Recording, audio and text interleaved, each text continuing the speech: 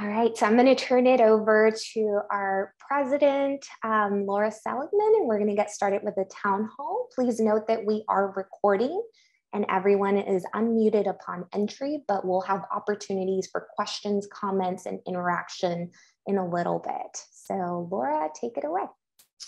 Thank you, Rosaura. Hi, everyone. I'm Dr. Laura Seligman.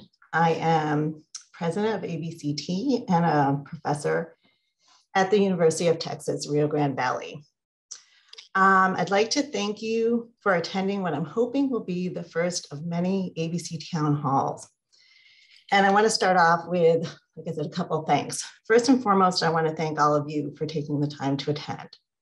I know that um, everyone's time is at a premium right now. And I also know that Zoom meetings are getting a little old for everybody but it's really important for the organization. ABCT is really um, our members.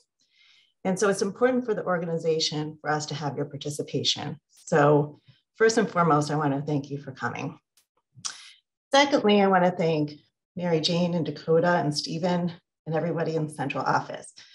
It's one thing to say, I would like to have a town hall. It's definitely another thing to say, I want to do it as soon as possible, which I think Mary Jane will tell you is usually my time frame. and it's another thing to make it possible and to actually get it done. So I want to thank all of you for doing that for us today. Um, I want to talk about why the town halls were one of my first things I did as ABCT president. And really, I want to direct you to the um, my first presidential column. Hopefully, all of you have received the behavior therapist either in the mail or you know gone online to our new website and taken a look at that. And in there, I explain how I see the town halls as a way to engage our members and really as a way to act on the board's desire to increase um, equity, access, and inclusion in the organization. So in other words, this is a concrete step that we want to take towards that goal. So then the question is why the convention as our first, as the first town hall? First of all, I think, you know, I'm a member of ABCT. I've been a member for many years. And I know the convention and what gets chosen to be presented at the convention, and more specifically, what doesn't get chosen, is an area that members have a lot to say about. And I know it's something you want to give us feedback on. Um, also, though, the convention and getting it right and making sure that we're promoting the science that we want to there is central to many of the organization's goals. Getting it right helps us to support innovation and ethical delivery of CBT and it also makes sure that we're at least taking that first step towards disseminating the best of what CBT has to offer. My third reason for making this our first town hall is actually equally important. And that is because um, one of the greatest pleasures I've had as president so far has been working with my convention team. I am very lucky to have a group that super smart women, energetic, and very relevant for today, a group that's able to receive feedback and has the skills to put that feedback into action. So the goals for us today are to have an open and transparent conversation about the criteria used to evaluate convention submissions, and to take a look at a proposal of how to translate those evaluations into actual decisions. We'd also like to demystify the process and get your feedback. And importantly, we want to increase access to information that has the potential to impact the quality of your experience at the convention and to impact the convention content. So with that, I'm going to hand it over to Dr. Rosaura Orengo Aguayo to start us off. Thank you so much, Laura. It's a pleasure to have everyone here. Um, I would love for our amazing panelists today to introduce themselves. So I'm going to be um, asking them to unmute. Give me just one second. And while I do that, um, a little bit about me. I am Rosaura Orengo Aguayo, and I am the ABCT 2022 Convention Program Chair. I'm an associate professor at the Medical University of South Carolina, where I focus on mental health disparities and access to care, primarily um, among Hispanic Latinx youth in the United States and Latin America and the Caribbean. Um, really, my goal for today is to provide um, open um, information, transparent conversations about what, what is the process of submitting for ABCT, what have been existing review criteria, and perhaps propose some changes to make the process more transparent and more um, uh, clear to our membership. So I'm going to let um, Christina introduce herself and her role at ABCT, and then we'll go with Emily. everyone, so I am Tina Boisseau, and I am an associate professor at Northwestern Feinberg. Uh, most of my research and clinical work focuses on OCD. Uh, so at ABCT, I am the current workshops chair. However, I've also in the past served as institute's chair. And today I'll be representing our ticketed events and really discussing a little bit more about the submission and review process for them, and how we decide what is, what is being offered at the convention. Excellent. Thank you so much, Tina. Emily? Hi, my name is Emily Thomas. I am a clinical assistant professor at the University of Iowa. And uh, today my role will be associate program chair for the 2022 convention. Awesome. So we have an amazing team and let's get started. So our agenda for today is quite ambitious, but what we hope to accomplish first is provide information. What is the current um, submission process? What types of submissions can you um, incorporate at ABCT through two mechanisms, ticketed sessions and general sessions? Then we'll solicit member feedback. Really, this is where we want to focus the majority of our efforts today what has worked, what has not, and what are some suggestions for improvement. And here's what we propose to do today.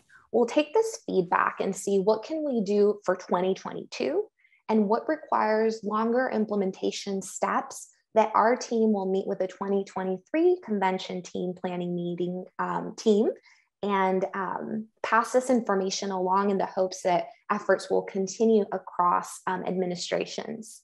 Um, but before we start that, it's really important for us to come to some suggested agreements for this group. Um, we ask that um, when it's time for comments or questions to please use your raise hand icon, which can be located at the bottom of your screen. Um, and this will uh, kind of put you in a queue and we will unmute you. Or I will be monitoring the chat with questions and comments that I will bring to the team for discussion. The reason we do this is to minimize background noise. The other thing that we ask is that we be kind to each other. We are all trying our best. In fact, Emily and I are newbies to this. It's our first time doing this, and we're learning about procedures just as you are. Also, I want to ask our colleagues to be mindful of how much space we are taking up. Meaning, have you talked more than once? Have you perhaps interrupted another colleague or um, basically repeated what another colleague just said. So please be mindful of the space you're taking up and balance that too with your positions of power. Um, let's all be willing, if possible, to sit with discomfort. Some of us might say something that others don't like, or we might feel misunderstood. Um, so please be willing to sit with that in the service of transformational change, but also be willing to call us out if we need to improve in something. Um, and also, we encourage that this discussion be solutions focused um, and, and not just stick with this is what's wrong without providing perhaps some suggestions, although that is welcome. Um, I would like to now open briefly the space in the chat, couple seconds. Anything else that we should add to our suggested agreements, feel free to type it in the chat. Um, and while we do that, um, I will be monitoring the chat and mentioning. Um, but with that in mind um, and due to time, I'm going to turn it over to Tina to start discussing our ticketed sessions. Thank you, Tina. Awesome. Yeah, thanks. So I'm happy to be here to discuss a little bit more about the process for our ticketed sessions. And so you can think about ticketed events as really a way that is designed to offer membership kind of focused educational opportunities at many different levels. So some of these are pitched at a more basic level, right? And others are pitched at a more, a level that requires some kind of expertise to attend. Most of our ticketed events, I will say one exception, require an additional payment um, and they all provide CEs. Uh, one thing to note is that ticketed events are due in submission at least kind of a month before our general session. So there's a different structure, a different portal, and a different review process, which we'll talk about a little bit later.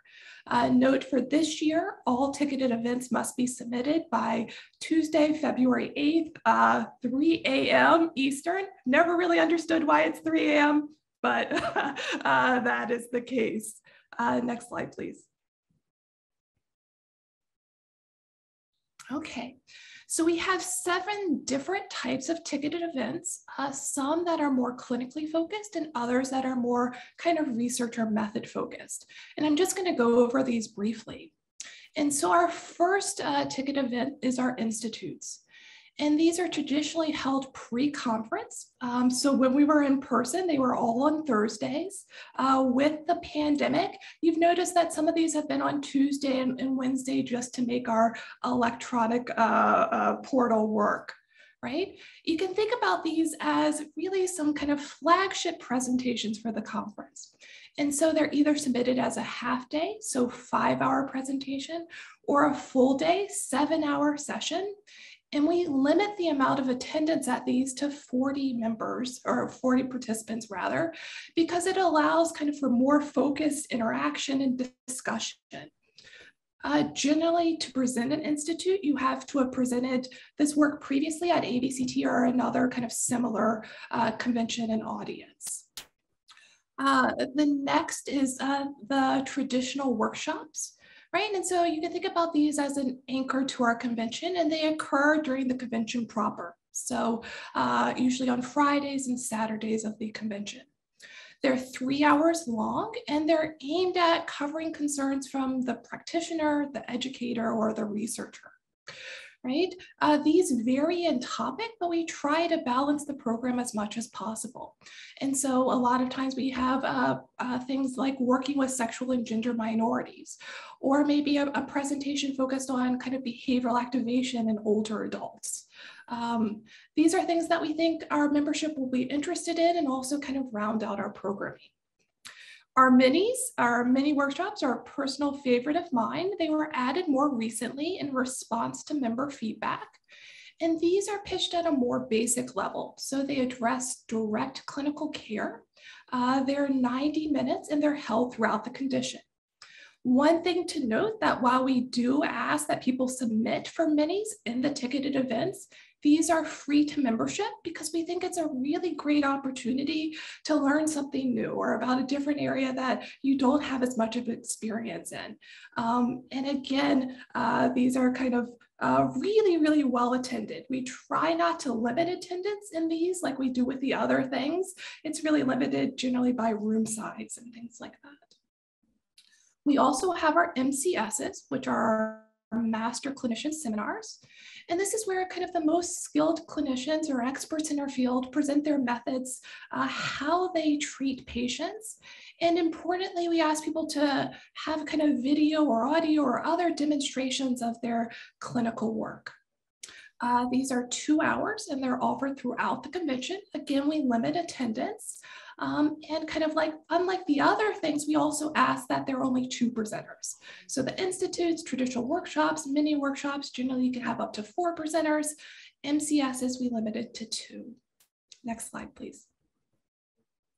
We also have ticketed sessions that aren't necessarily focused predominantly on clinical work, although they often have a clinical application. So we have our RPD series or our research and professional development really focused on the kind of how to or uh, the, the kind of theories and about how to develop your own career, conduct research.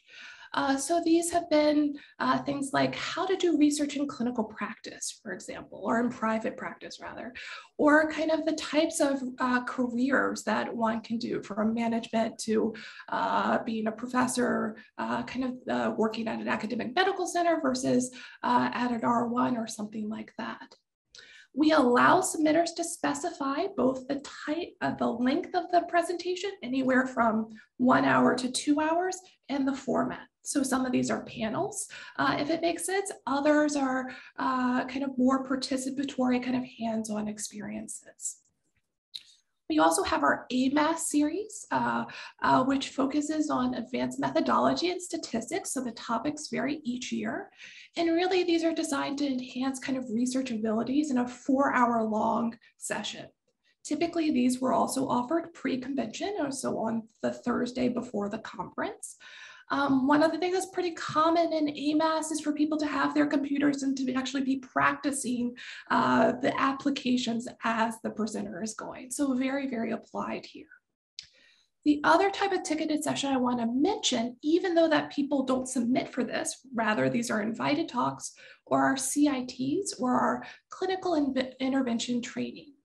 And these are kind of one or two day events, really emphasizing the how to of clinical interventions and really with the extended link that allows for kind of more interaction and more in-depth discussion. Uh, next slide, please. Okay, so this is not for someone, for people to have to kind of memorize or write down or things like that. But one of the efforts we really are trying to do is make it easier to decide what type of ticketed event to submit because we realize that this has been confusing for membership. We get a lot of questions about it. And so for us as a committee, we really came up with a flow chart to help us think about kind of what belongs where. And one of the things that you'll note that's different this year is that once you sign in to submit any type of ticket event, you'll have basically a drop down list of yes, no questions to guide you to what is the most likely type of presentation to fit what you're hoping to present, if that makes sense. Um, and so you'll have this guide that we have laid out here in a format within the submission portal. Uh, one thing to note is that even when people submit an event, we look at balancing the program.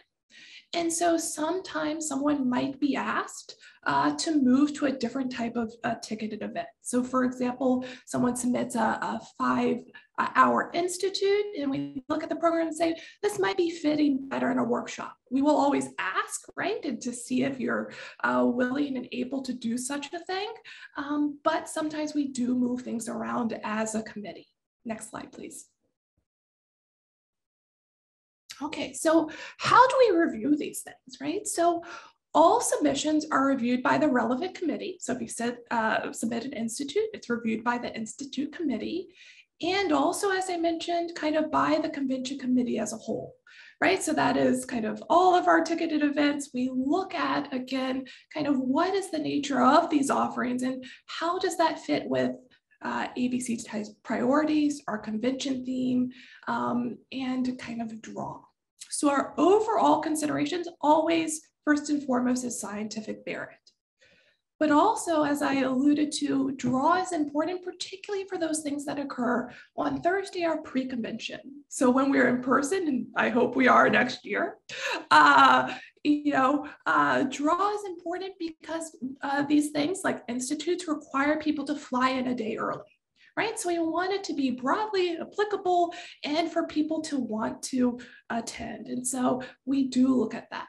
As I mentioned, program balance, what does that mean? Well, we're looking at our priori priority areas, but also wanting to make sure that things like a lifespan are covered. So we want to make sure that we have both child and adult offerings, that we have offerings in terms of older adults, that we have offerings and uh, that balance in terms of population studied or treatment modality. So all of those things are, are taken into consideration. And certainly we always look at feedback from prior conventions, right? So if you, if you submitted something previously, if it's been well received uh, in, in one format, we might ask you or, or uh, might be looking at uh, how to continue that uh, in a different format. There are a few specific considerations, right? So to present an institute, you have to have presented similar material previously at ABCT or another national or international convention, right? And of course, if you're presenting an intervention, that intervention has to have strong empirical support. So institutes are not something where uh, people pre present kind of treatment development work. We ask that you submit that to the more kind of general sessions, maybe a symposium or something like that. And so there should have been a published RCT um, in any intervention that is in an institute. Same thing with traditional workshops. You've gotta have empirical support. Um, and the other thing, uh, the other type of submission that requires something is a master clinician. You have to be kind of a recognized expert in the field. Uh, so to be a master clinician or to present an MCS, uh, this is typically not more junior people. These are people who are more well-established, tend to be more uh, senior people. And I think now we're going to move over to talk about general portal? Sure. Tina, thank you so much. In the spirit of the topic, Rebecca asks if we presented at a past convention, for example, a mini workshop, are we able to get the feedback to guide future submissions? So we, I mean, that is, I think that is something that we can discuss uh, uh, more broadly. Traditionally, we have not made that feedback kind of uh, widely available to my knowledge. Stephen certainly pipe in and correct me if I'm I'm wrong or mistaken on that. Um, and I wonder, we do Tina, ask people if it's, if it's feedback from participants. Sorry, because they presented at a past convention mini workshop. So I think it's feedback to guide future submissions from participants. Uh, well, so for things uh, like workshops or institutes, we do ask you to collect and summarize evaluations right? So you would have kind of those summaries that you also submit to central office that we look at. Gotcha. So Rebecca, I don't know. Yes, feedback is given to presenters.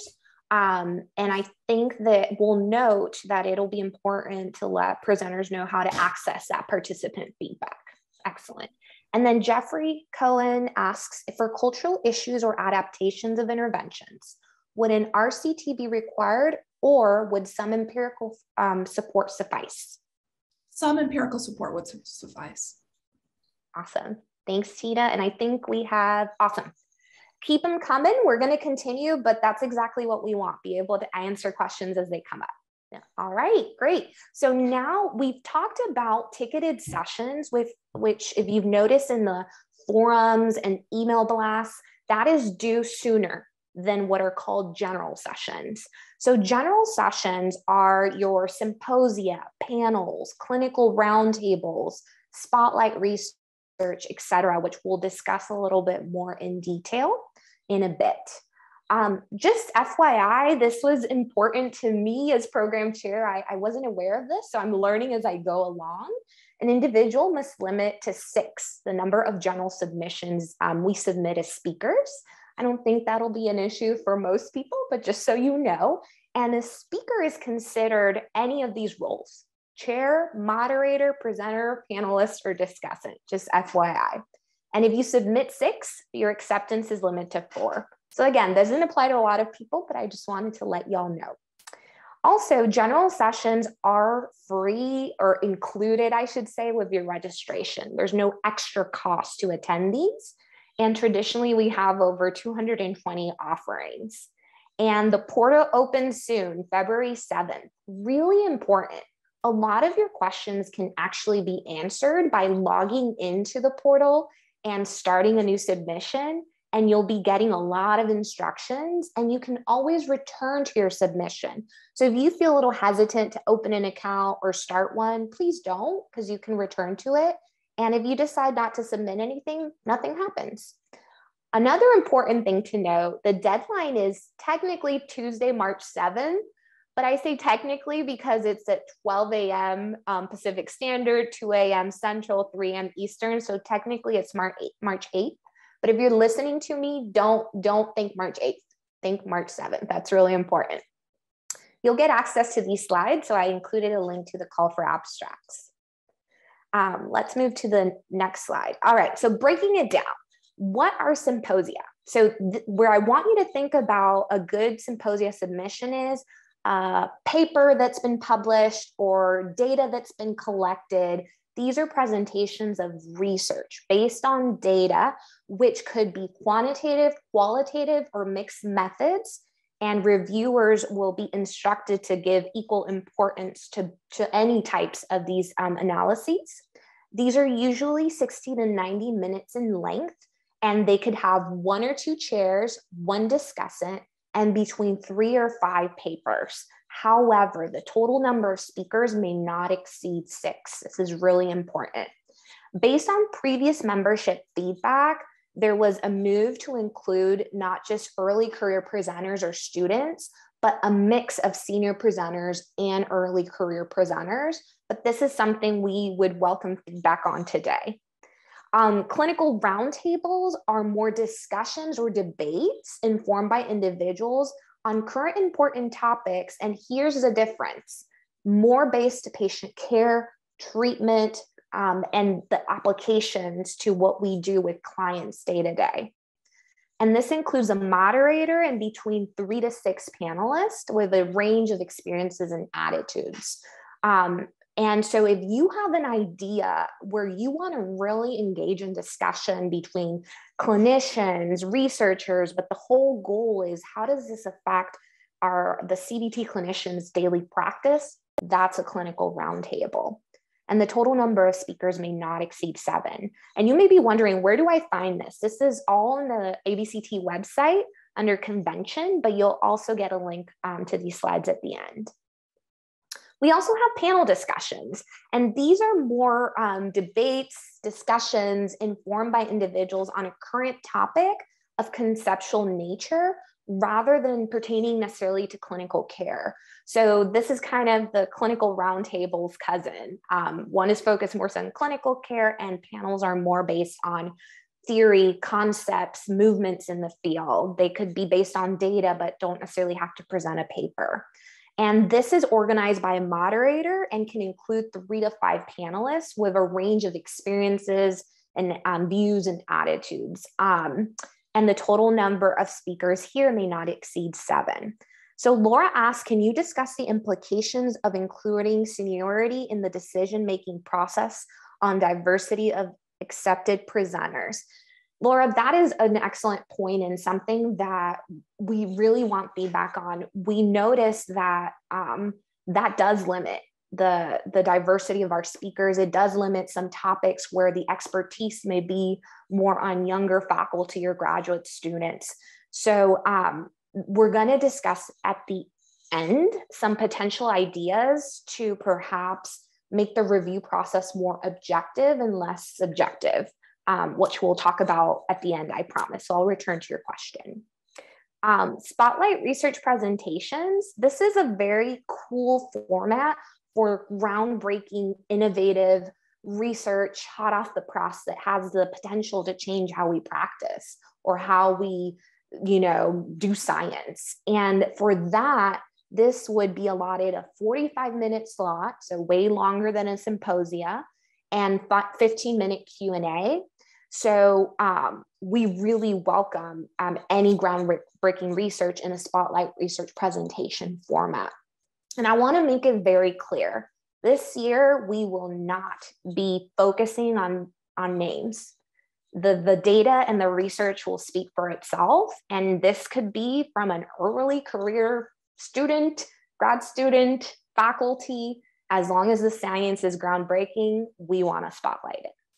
And then poster sessions, um, we are all familiar with those, but this is more one-on-one discussions between researchers who use graphic representations to show what they've been up to. And we usually have about one, like 1200 to 1400 poster presenters each year. Um, all right. So I'll get to the questions real quick. Um, let me round off with this. And then we have targeted and specific programming. So this really refers to a couple of things um, that you might be used to at the ABCT convention, some of which are not necessarily submissions. So invited addresses or panels, typically we have around three. Um, this year we're hoping four keynotes and one or two invited panels that are chosen by the program convention um, chair and co-chair and president. Um, and the goal of this is to bring, um, you know, very uh, groundbreaking work being done by um, scientists locally or internationally to share with membership. And it's usually very focused in the convention theme. Ticketed sessions, which we've already discussed, what we're deeming special sessions, which you've seen the postdoctoral and internship, um, clinical roundtables and, and sessions and discussions. This is very much focused on career development, how to submit a grant, meet NIH um, program grant officers, et cetera. And of course, our SIG meetings, which each year we have more special interest groups that meet and do amazing work.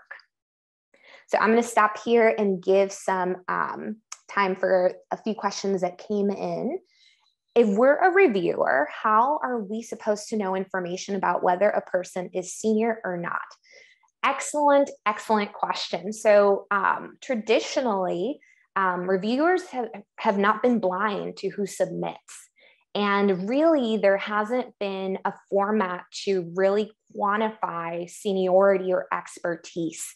So, we'll talk about in the late, later portion of this um, meeting in a little bit some suggestions we have to help reviewers and some potential suggestions to make this less biased.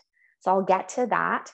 Um, and then I have presented at ABCT annually since 2013 showing that women are underrepresented in the more prestigious conference roles. This is from Laura Sockol. This data is based on the program guide and only reflects accepted presentations. Have you been able to look at submission versus acceptance by demographics now that this information was collected at the point of submission? So Laura, we have not looked at that. Um, I am going to ask my uh, Emily and Susan to make note of this so that we can ask um, Stephen for this data and we can analyze it. And hopefully I can maybe circle back with you for some recommendations as this is really important. And Rebecca says, in the past years, I have been part of a submission for a clinical roundtable with SIG sponsorship that has not been accepted. Um, very good point and she points has happened multiple times when i submit as a clinical roundtable that is research versus clinical heavy so Rebecca, that is an excellent point, and that is something that um, I would like Emily to make a note of so we can bring back to discussion in a second. So my final part of the presentation, and then we'll turn it over to Emily and discussion. I thought it was important um, as program chair to discuss a little bit the convention theme and what it is and what it is not. And also, please note that although we're very, very hopeful that this will happen in person in New York City, um, this is all pending our friend COVID, and we will base our decision to go in person, hybrid, or fully virtual based on um, the data. So please keep that in mind. So our theme is very appropriate with the times we're living in. It's emergency and disaster preparedness and response using cognitive behavioral science to make an impact. And we we kind of came to this theme because even though we know that covid is not our only emergency it's a great example of how a lot of the public health decisions have not been made by scientists or guided by science and we came to the idea of where are we in developing a robust theory and sound science to be able to respond to not just covid but all the public and mental health emergencies and syndemics that we're facing today.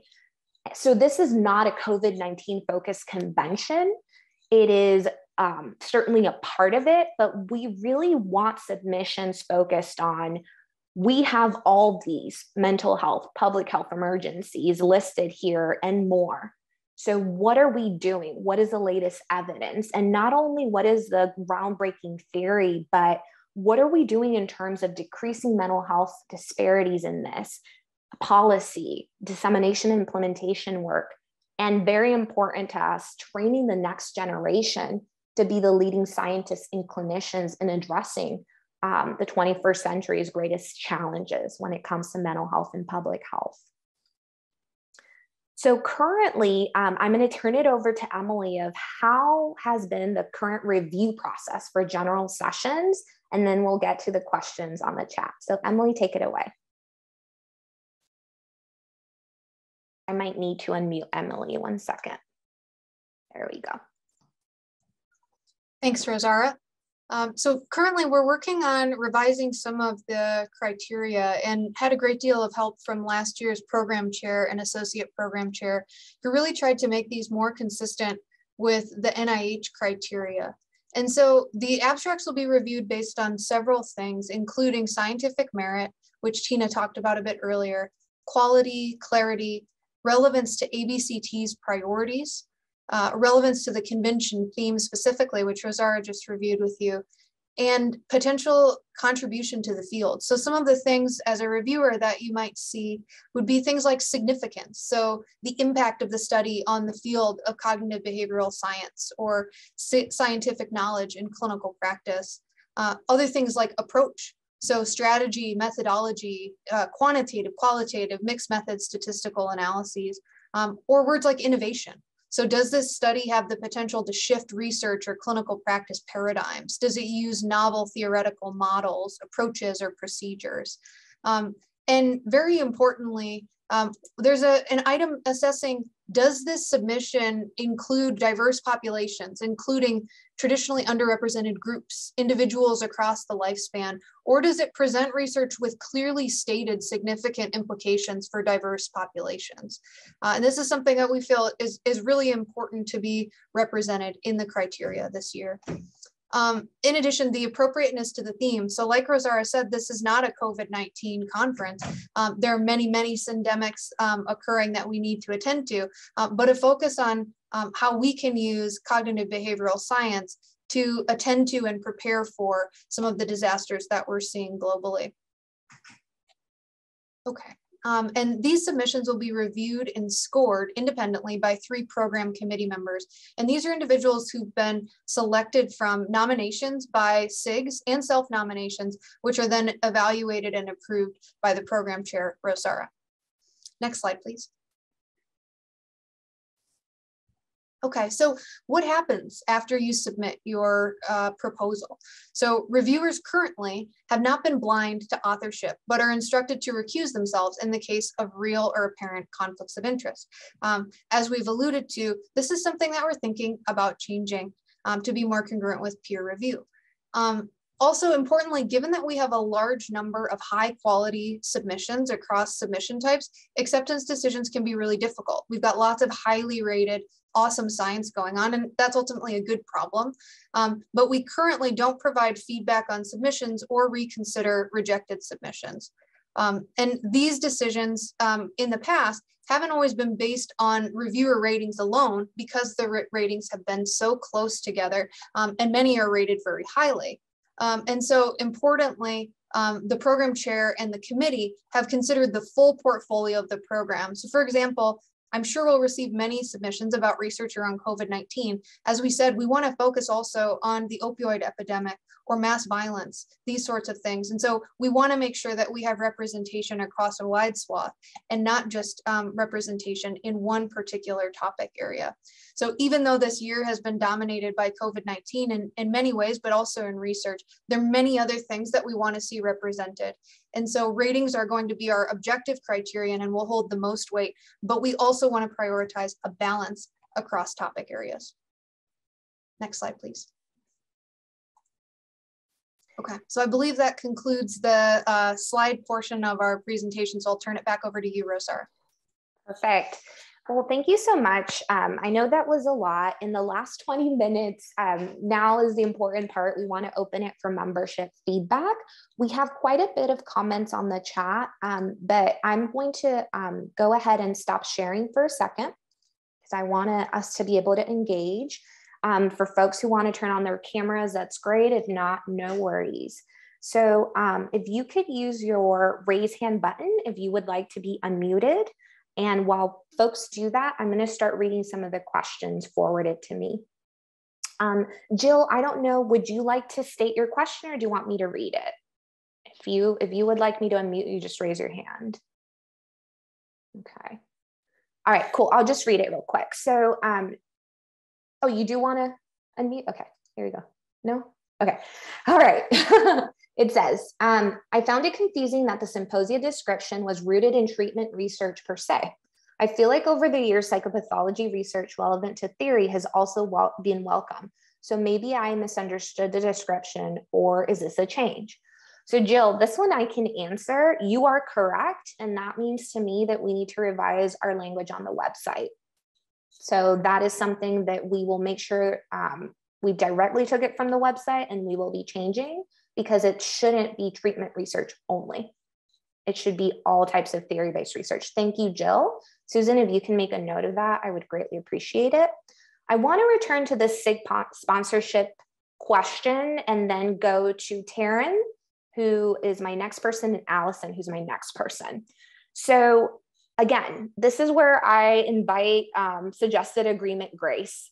I am new to this, right? And so really what I'm hearing over and over from folks is, hey, this was sponsored by our SIG and yet it was not accepted. So what's the point? And multiple members coming with that. So I kind of want um, to share my perspective on that. And then I'd like to give the um, microphone to Taryn because she's agreeing that this is important to her. Um, so really this year, what we're hoping to do is um, based our criteria on just scores. Traditionally, there was a yes, no, maybe, accept, which was weighted heavily, and then scores. We want to focus it on scores. And so we want membership from feedback. What should we do if SIG sponsors, but reviewers rate it low? Because that's a possibility. What should we do if SIGs don't sponsor and this is rated mega high from reviewers, right? So I'm just going to pose that out there to membership. And Taryn, I'm going to unmute you real quick. Give me one second. Because these are all possibilities that might happen. You have the floor, Taryn. Yeah, I kept my hand up so you can still find me. um, yeah, I, I really appreciate you addressing the SIG sponsorship issue. I'm a member of several SIGs, and I, I want to kind of talk about that in the context of some of the things Laura's been bringing up. Um, you know, certainly Laura's research shows a, a, a large trend of uh, women being much more likely to be poster presenters than presenters on panels or symposia, and certainly not chairs, right? Um, and then we, I don't think we've even like scratched the surface of looking at race, ethnicity, right? First generation college, right? Very important voices that I think um, when we are emphasizing things like seniority can get washed out. And I think that some of that goes into the SIGs as well, right? Which things are selected there um, you know, which things are represented versus not typically in the program. I was really happy last year to see a lot of things talking about diversity, but I also know it was the convention theme. So like what's gonna happen in future years? Um, this is something that the SIG leaders have really been talking a lot about in our meetings. And so I just wanna see where the program committee is uh, on, or the chairs here on thinking about these. Thank you so much, Sharon. That's super helpful. Um, Laura, Emily, Tina, thoughts um, on what Taryn just mentioned?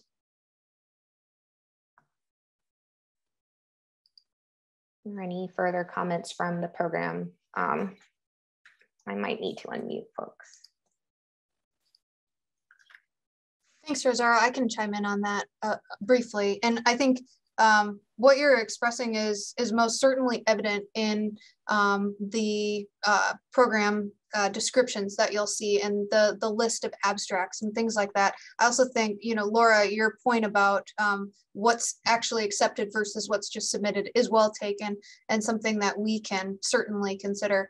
I think one important thing um, that Rosaura emphasized in the slides with seniority is that part of the reason that the suggestion of a mix of early career and senior people was put in is to avoid having just senior people presenting their expert research and things like that.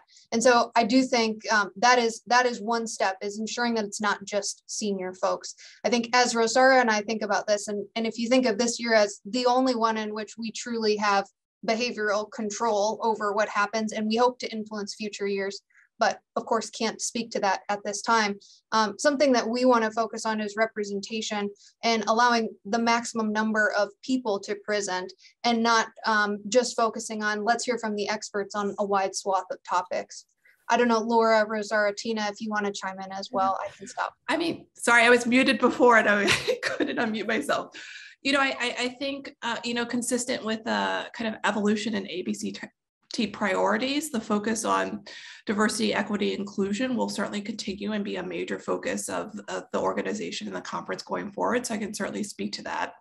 Uh, in terms of uh, the ticketed events, I think one of the things that we were uh, or thinking about last year or the year before, uh, most happy to see was an increase in the uh, diversity, broadly speaking, of what uh, was submitted and our ability to uh, move the conference in, in, in, in, in different ways. And so um, just to answer that, that is uh, 100% continues to be a priority, not just for the convention committee, but I know for, for ABCT as a whole, as they're looking at their kind of strategic plan. Yeah. Thanks, Tina and Emily. And to add to that, Taryn, one thing that occurs to me, and Emily, let's discuss this, is how can we provide a weight on ratings that provides an extra weight for SIG sponsorship? Does that make sense? So it's an extra point or it's an extra to make sure that it's included um, uh, quantitatively. And also, um, just so you note, um, Remily, Laura, and I will be posting the general session review criteria online on the website this year so that submitters know, just as for NIH, SAMHSA panels, what are the criteria? Okay. Um, I want to turn it over to our next person on the queue, Allison. Then we'll go with um, Juventino, followed by Laura, and then a comment by Sarah. So Allison, let me find you real quick. And um, what is your last name? Okay, ask to unmute. Go ahead, Allison. Hi, thank you. Um, you know, I appreciate all the flexibility and looking at the definitions of how things are scored and rated. One of the concerns that I have is while on one hand, of course, RCTs are the gold standard in research, in higher acuity settings, and I work in an inpatient setting, RCTs are not the standard of, of research or really even feasible. So as we're moving towards an implementation science framework, moving towards evidence-based practice in a range of settings, you know how can research be looked at from that lens right? Where we're doing quality improvement prod projects um, looking at routine outcome data and things you know that are not amenable to rcts and i think that dovetails to kind of looking at even the clinical roundtables needing demonstrated effectiveness and efficacy where these are enormous steps in residential programs, inpatient programs, and yet we're not going to be able to meet that kind of research criteria. Um, numerous times I've presented and submitted things um, that are strong panels in these settings and they haven't been accepted, or when they were accepted, they seem to be in really undesirable places and, un and um, like in days and times that aren't even well attended. So it definitely punishes my submission behavior, leading me to submit elsewhere where those things are more received. So I'd love I'd love to um, hear your your thoughts on that. Thanks, Allison. So making sure I fully um, understand it's that we we're not in the same level in different fields and topics as the RCT, or might not be right. appropriate. So your submissions, program eval, which is a lot of what I do, gets punished. Mm-hmm. Um, right, right. And ABCT looks heavily outpatient focused, um, which is the vast majority of providers, sure. And yet we want to move in evidence-based practice in inpatient hospitals where we're treating severe mental illness. And ABCT is a you know important platform for that work. Excellent. So I want to make a clarification um, on something you said, which is the first thing I'll address. So for ticketed sessions, for master clinician workshops, for what happens pre-conference, um, is is a little bit different than general right now, right? So that's where the RCT must be proven got mentioned. So I wanted to double check with you, Allison. Are you referring to that ticketed session or general sessions? Broad concerns for for both. Okay. Okay. So I'm gonna um, see Emily, Tina, um, Laura. Any thoughts on that? No. Do I need to unmute anyone? So I'm gonna I'm gonna say the following, Allison. I'm not to pretend I have a ready answer for that. I'm to note it as a, a significant concern. I think that Emily and I need to address review criteria that speaks to this and the importance stated for the reviewer of program eval, of the setting, Um, and also, I'm hearing that we might need to bring this back to ticketed and have a discussion with them. So I appreciate so that, much. Allison. I, I really, really appreciate it um, and appreciate this town hall. So thank you. Thank you. All right, um, Laura, I'm going to unmute you now. Um, and try, let's try to keep it brief, um, Laura. So, so two minutes. Go ahead. I think you just jumped someone in the queue ahead of me. I'm so sorry. Who who did I jump? Juventino? Did I jump you? Yep. Okay. Sorry. Thank you, Laura. Hey, Juve. Juve was my postdoc. I'm so sorry to do that to you. Here we go. No worries. All good. Um, uh, so thank you all for having uh, this forum to discuss conference submissions. Um, so similar to what others have said, I'm right now um, the chair for the Latinx Special Interest Group. Um, there's been, um, uh, I guess year after year, some concerns from uh, our SIG uh, membership that feel that uh, per, submissions are not accepted um, and I think part of the issue is not receiving that feedback. Um, so, kind of thinking of recommendations is thinking about um, providing some feedback. I know that that could be a lot, and thinking about how many submissions ABCT receives. And so, maybe it's particularly for the special interest group sponsored submissions, um, so they know uh, areas of improvement or places where um, uh, why their submission wasn't accepted. Um, similarly, I think in one of those slides it was mentioned that program decisions aren't based solely on the reviews. So if they're based off of programmatic decisions, um, for example, the theme of the conference, it might be helpful to have a written statement about some of those decisions, um, broadly speaking, for the general membership to know why certain submissions were accepted over others, um, the breakdown of the submission acceptances and how they fit with the theme or the values that um, ABCT has for their conference. Um, so that's just one kind of general recommendation. The second one is focused also on reviewers and providing um, maybe more training for reviewers um, I've been a reviewer now for a few years, and I know that sometimes it's a bit difficult to know, you know, what's a three versus what's a four. Um, and so being able to provide maybe a recorded Zoom session. So for those who can't go, they can view it and something brief because we're, of course, you know, we're all busy and everything. Um, but something that could provide reviewers with some additional training and support on how to interpret the criteria. Um, maybe an FAQ for um, certain kind of uh, submissions where maybe we're not a content expert in it, or maybe it's a novel research methodology and we don't really know what to do with that or how to rate it. Some guidance from uh, the convention team on what to do with those, because I, I, I kind of suspect that that is something that is occurring with others too, um, where we receive a ton of submissions, but we're not really sure how to evaluate them and what is the distinction between like a three and a four or two and a three and so forth. Excellent, Juve. I'm going to pass it to Emily that has some follow up to this. And um, Susan, can you please take note of Juve's suggestions? Because um, that's one thing that we're going to do this year. Um, uh, YouTube tutorial for reviewers um, but I like your idea of the fact sheet. And also, I'm going to be honest with you, I don't understand why we get comments from manuscripts and we don't get them for conventions. I understand it's a lot of work, but how can we improve and how can um, folks know what happened? But I also understand it's more than 1,500 submissions. So, how can we come to a better feedback way is important, um, is what I'm hearing. Um, Emily, could you please uh, say what you were going to say and mention our blinding idea? Absolutely. Yeah, so thank you for the these suggestions and I really appreciate um, this perspective. I think uh, I agree with you, Rosaura, that it, it is hard to not receive feedback on a submission that was rejected.